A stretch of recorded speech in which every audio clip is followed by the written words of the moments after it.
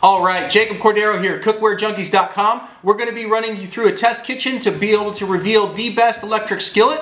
We've selected six electric skillets based on a couple of different factors. Uh, one, uh, if they were a top selling skillet on Amazon, uh, also their review rating as far as the star rating goes on Amazon, and also if it was a top search for skillet on Google searches. So out of the six that we've chosen, they all range from 25 to $100. Uh, we're going to be looking at the Zojirushi, which is a $100 skillet, uh, the Presto, which is a $56 skillet, uh, the DeLonghi, a $42 skillet, the Elite, a $40 skillet, Copper Chef, like a $40 skillet as well, and also the small little Nesco, which is a $25 skillet. You're going to get a whole wide range of skillets that we're going to be taking a look at, and we're going to run them through a series of about six tests over the next 20 minutes. Um, so if the video seems a little long for you, go ahead and look below. There's a table of contents that should jump you right to the different parts that you might be interested in most.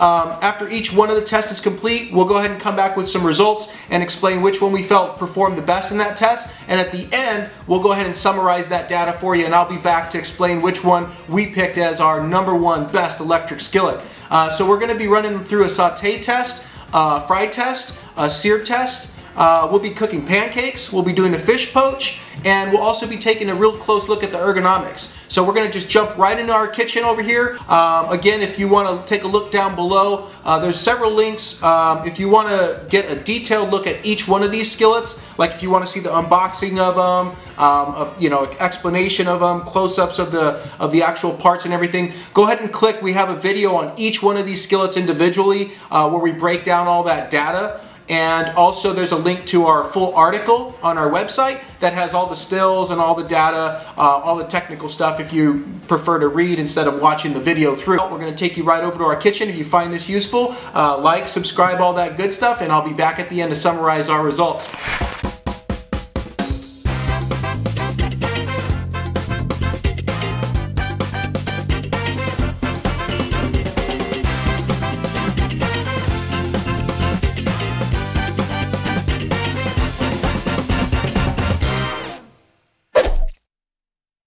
Our first test. It's going to be uh, just kind of to see how, how well these things heat up, how quick they heat up. Uh, so we put a stick of butter in each one of them. And so far, uh, the winner as far as how well they've heated up is the DeLonghi here and the little portable uh, Nesco down at the end. Um, so what we're going to be doing is sauteing some vegetables in here. Uh, very common use uh, for an electric skillet. so we want to see how well we get our vegetables to saute, how quick they do, and uh, we'll be back with our results on that in just a second. Okay, so we're about halfway through our first test. Uh, so far, that last three that we had up here, the DeLonghi was pretty much the so far in the lead. Uh, it, it, heated up the quickest, it gave us a nice sear um, on the veggies, and it also finished about five minutes before. And then we also had the last one on the end, which was the uh, portable one, uh, the Nesco. That one ended up just getting eliminated, so it's not going to actually make it through the other you know three tests that we have here uh, still to go. Uh, mostly because the cord kept coming loose uh, where the uh, meat probe or the thermometer probe goes into the device and so it continued to turn itself off uh, intermittently about two times through the cook and uh, at the second point we just kind of eliminated it altogether. Okay, we're back after our first test. The Elite um, and also the DeLonghi, which is there at the end, uh, did the best in not only uh, sauteing, but they were both actually the quickest in the bunch. Um, so the next closest was about five minutes after. One thing to note is the Copper Chef uh, never really sauteed anything, uh, never really got to a uh, browning point. Uh, so we pretty much gave it an extra five minutes after the last one had completed and just assumed it wasn't going to really get much better and we weren't willing to wait around for it. Um, so another thing to note on the Copper Chef is since it does have such a smooth surface and platform, it also is not very conducive to a nice browning and a nice sear. Uh, so that's one thing that uh, you want to definitely uh, consider. Uh, the Zojirushi uh, did okay. That's probably our third uh, third place, and then followed by the Presto here. Hi, this is Nathan Crane for CookwareJunkies.com. We've just run a test on our five remaining electric skillets and making french fries. We did we double fried them, starting with a first run at 325, a 10 minute steam, and then fry them until they're golden brown and delicious at 375. uh, here are the results. The DeLonghi was probably the best of the lot. It produced delicious fries. Uh, although we had a little bit of trouble, it would drop in temperature when the fries went in, but would never quite recover enough. The fries were, however, delicious. Uh, the Presto, uh, also very good. It had a little bit of trouble getting up to temperature, but the fries were, but the fries were excellent. The Elite had the potential to, be the best, but it ran into trouble because it tended to, to go over its temperature. We would set it to 325 and it would roll up to about 335. Uh, we took it to 375, it wound up at nearly 400. So the end result of the fries, uh, they were wonderfully browned, but didn't quite have the crisp crust we were looking for. Still, it seems that that could be something that we could dodge around just by setting it low and keeping a close eye on the temperature.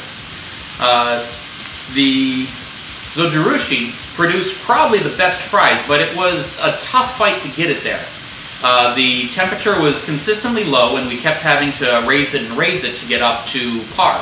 But uh, it held the pot held on to the heat probably as well as any other as any of them, and so with less temperature drop, we wound up with the best, crispiest fries out of that one. The loser, unfortunately, was Copper Chef, which never made it uh, up to temperature. Uh, we set it to 325, it never made it over about 270. Uh, we cranked it up until it finally got up to about 315. It took about 10 minutes to get a really unsatisfactory first cook. Then we cranked it up to max. It never made it past about 325, which led to greasy, chewy, disgusting fries. So the Copper Chef is not recommended at this point, but we'll see how it fares as we continue to our next tests. This test is just basically going to be about the sear. We want to see how well we can get a sear on a steak.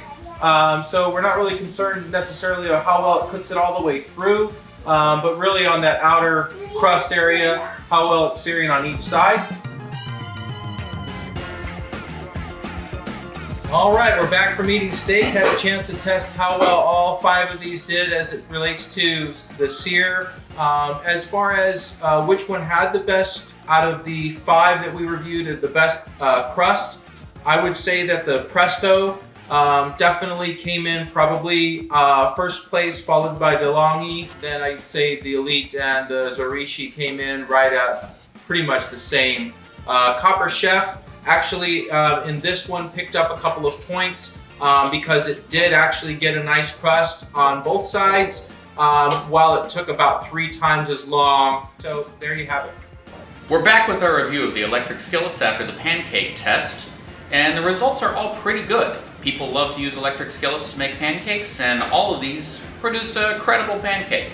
The top tier is the DeLonghi and the Presto, which produced a, ni a nice color, uh, a, good a good interior that's well done, and a nice bit of uh, color and flavor on the outside. Uh, the Elite is in the next tier down. Its problem is that it runs way too hot. So while the pancakes were done very, very quickly, uh, you have a choice of either not being quite done in the middle or being a little overdone on the outside and kind of leathery. Uh, at the bottom tier, uh, the Zojirushi and the Copper and the Copper Chef, uh, which both produced not nearly enough browning. They were they topped out at blonde, and the interior texture was doughy and not the best. Now, one issue with the Zojirushi and the Copper Chef is that they run at a lower temperature uh, for any given thermostat setting. So we set all of these to 300 degrees, but the actual temperatures varied between 360 degrees and 415 degrees. So the Copper Chef and the Zojirushi, which ran at lower temperatures, took a bit of a hit just from that. We cranked them both up to max, uh, for, which is about 425 for each of them, and the pancake that was produced both times was the equal of either of the best pancakes. So part of what we're looking at here is just a question of lower temperature producing worse results. The upside is, if you purchase the Copper Chef or the Zojirushi, you can get a good pancake by turning it up to max. The downside is your maximum temperature is much lower than the other models. Okay, we're back here with CookwareJunkies.com testing electric skillets. This time we're going to test the low temperature performance of these five skillets.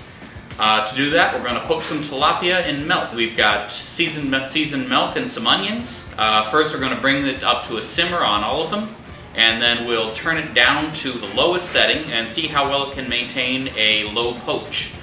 Uh, we'll be testing the temperature throughout and see how well they maintain the temperature so that we get perfectly poached fish. The goal is that you'll be able to set it and forget it, uh, prepare some perfectly poached fish uh, while preparing side dishes and not have to worry that you're overcooking it.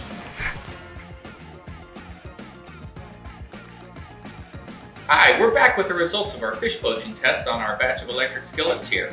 The clear winner is the Zojirushi, uh, which has held a steady simmer of about 140, uh, varying between 120 and 150.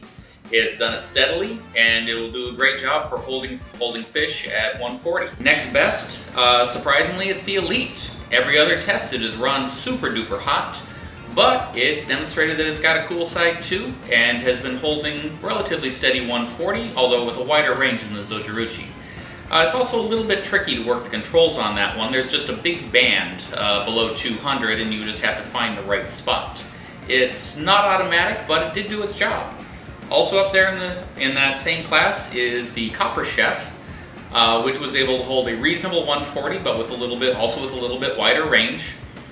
Uh, we had we wound up having to pull the fish a little bit earlier just because it kept walking up and up as the temp, as the temperature high end rose. Uh, the next tier down, the Presto, uh, it was it has a warm setting, and we were able to hold able to hold a poach, but it was 160. We could got could not get it down below 140. So ultimately, it was a failure, but not a horrible one. Uh, we had to pull the fish early. It tasted good, but it was not the plan. And finally, down at the bottom, the DeLonghi. Uh, below 200, as best as we can tell, it's just off. Uh, there is a box that seems like it could be a warm setting, but it just goes down and keeps going down without without the heating element ever coming back on. So the DeLonghi is unfortunately a fail.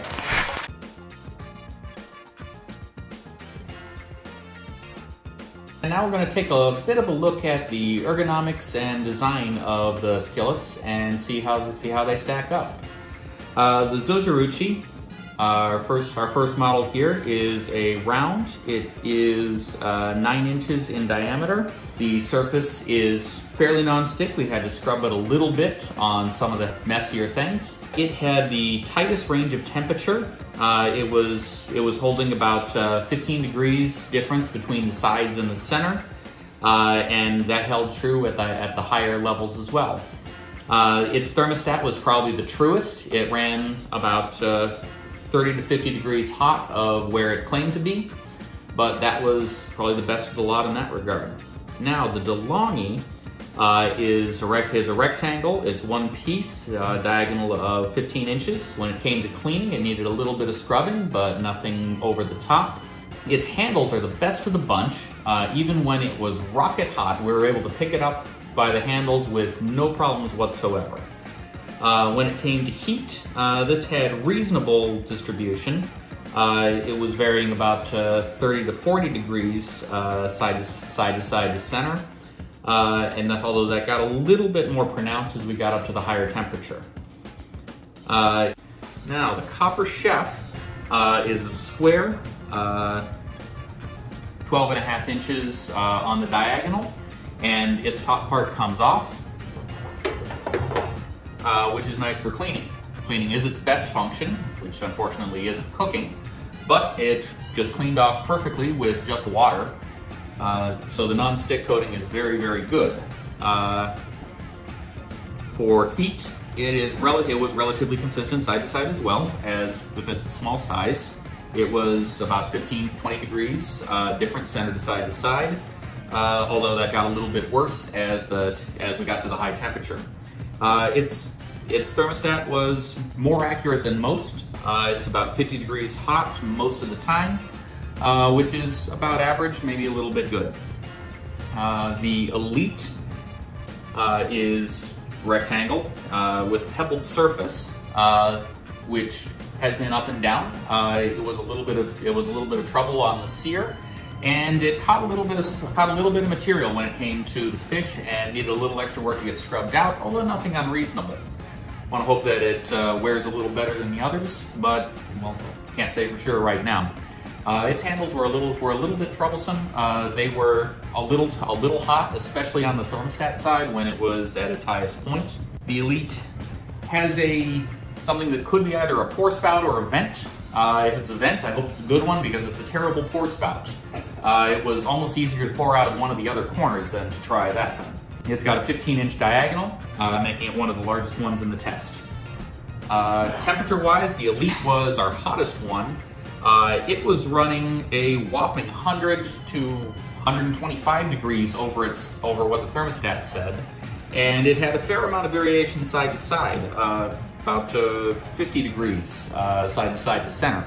Uh, that's pretty that's pretty rough right there. Uh, however, it did surprise us in the fish test by being able to maintain a relatively low temperature, so I guess you never can tell. Finally, that takes us to the Presto. Uh, the Presto is another rectangle uh, with a 16-inch diagonal.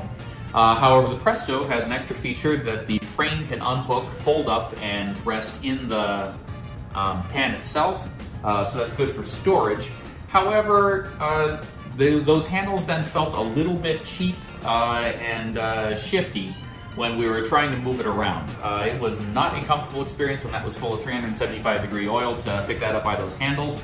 And they felt they worked fine, but they felt like they could have gone, and I'd be just as happy to have let that sit.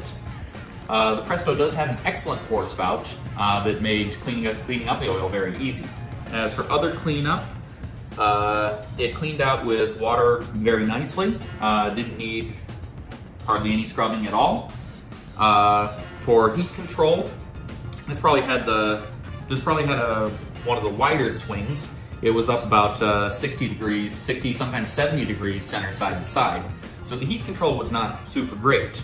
Uh, also the thermostat was off by wow, uh, 100 125 degrees, uh, same as the Elite. Uh, so this thing ran hot and ran hot all the time. All right, Jake Cordero here. Thanks for watching, and we're going to reveal our final results as to which one we like the best and which one we feel you should spend your hard-earned money on when it comes to an electric skillet and some of the factors that you might want to consider.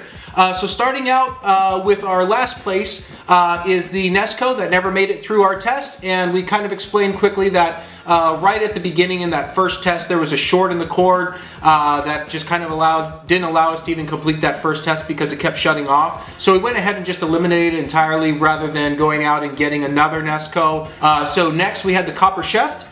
Uh, Copper Chef, uh, interesting concept. Uh, comes in at about forty dollars, so it's right in the right in almost like the mid range of all the other skillets that we reviewed.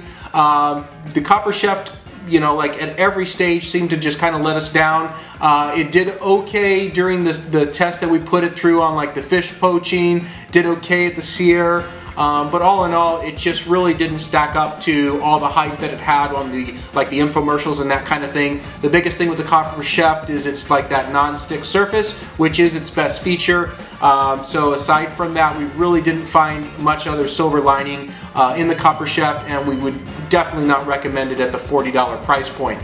Next on our list was the Zojirushi, uh, came in fourth. Uh, the Zojirushi had a couple of things against it right off the bat. Uh, it's $100 and then also it's not quite um, what we would consider an electric skillet. So when it came to putting it through a lot of the traditional tests that we had set up for our other electric skillets, it just really missed the mark. Um, and I think it's just because it's kind of something on its own. Um, very interesting, not a bad product. It's got quality build to it. Um, it's got a nice thick uh, skillet uh, that definitely holds the heat in well and once it heats up it kind of stays hot. Uh, it also has that nice breakaway cord because the thermostat's not actually built into the uh, cord itself, it's actually built right into the unit. So uh, basically if you have that on the tabletop, uh, since it's got that magnet breakaway, if somebody were to trip over it, uh, it's not going to be a complete disaster. And additionally, um, the, the, the design overall, as well as the aesthetics of it, uh, were really good and it did great at fish poaching and holding that heat um, right at that 140 temperature that we were looking at. So all in all, uh, Zojirushi maybe for another reason, but certainly not for the $100 price point uh, if you're looking for an electric skillet, especially because of the size of the skillet and the cooking, the cooking area. Uh, next was the Presto at number three, comes in at $56 or so. Uh, the Presto really did well in a couple of areas, like the pancakes. Uh, that made our best pancakes. Um, the searing on the steak was pretty good. Uh, the only issue is that on the fish poaching, it wouldn't go below like 160, so it really didn't have a chance to win in that area. It cleaned out really easy, and then it has the fold-away handles. So you could purchase two different models of the Presto. Uh, the one with the fold-away handles is about $10 more than the one with the static handles on it. Um, so if you're going to be purchasing based on storage and being able to put it away and fold it up, then the Presto is probably the model for you. Um, it was a little bit awkward for us with, you know, when we had the Presto, I believe that we were using, we tried to move it when we had the hot oil in there and it just felt a little shaky, a little bit awkward and um, I, am not sure that I would really recommend um, the fold away handles on it uh, if you're going to be doing things like uh, frying in it. Um, so next up we had the um, Elite uh, that came in as uh, second place uh, at $40. Really the Elite could have made our first place spot except for the fact that it ran hot and it ran hot all the time. So basically what that meant is that in a lot of the tests that we performed, if we did not compensate for it running hot, it, it did not perform as well as it could have in the test. Um, but when we, when we say we're running hot, we're looking at probably, at one point it was like 120 degrees over. And then also that thermostat side of the skillet got hot, hotter than the other side, which also heated up that handle when we kicked it up to like 400, 425. And it was running at like, I think we had it at like 520 uh, or 510 is what we clocked it at. And then the other thing was because of the honeycomb bottom sur pebbled surface that the Elite has, it was a little bit more difficult to actually clean it out. Um, and so I know that's important to a lot of you, how well does it clean? While it is dishwasher safe, um, you do end up, if you are going to clean that by hand, are going to end up scrubbing that with more than just, you know, running some hot water and a quick little rinse on there. Um, so that's probably the main reasons why the Elite finished at our second uh, spot at 40 at $40. And then our number one spot came in uh, the DeLonghi. So that's the $42 model. The DeLonghi excelled at every one of our tests except for the fish poaching. Um, we couldn't get it down to that 160, so it just wasn't able to maintain the temperature there uh, because we couldn't get it there at all. Um, so that's the only downside on the DeLonghi. If you're looking for a skillet that you can do poaching in, then I recommend going with the Elite. Uh, however, the DeLonghi um, also cleaned out very easily, uh, had a very nice cooking area, handles on there were very sturdy, nice and nice and big handles. Um, the only area where I think it struggled um, was on the on the heating up process for the sear. It took a little longer um, than the rest of the skillets in the test. Um, but aside from that, um, it, it, it, ran great and the DeLonghi is going to be our number one pick. So I hope you've enjoyed this test kitchen that we've performed here out of our home for you guys. Uh, if you liked it, go ahead and like, subscribe, all that good stuff. And then again, if you are going to make a purchase, there's links below. You can link over to our article as well. Um, and check out some of our other videos for our other test kitchens, as well as our other product reviews. Uh, thanks so much. Jacob Cordero here, cookwarejunkies.com.